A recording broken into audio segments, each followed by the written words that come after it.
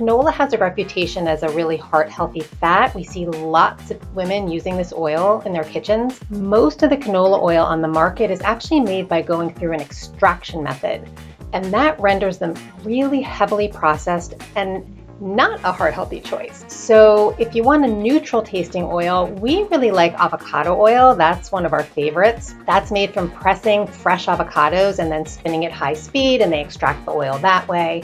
Much safer than chemical extraction.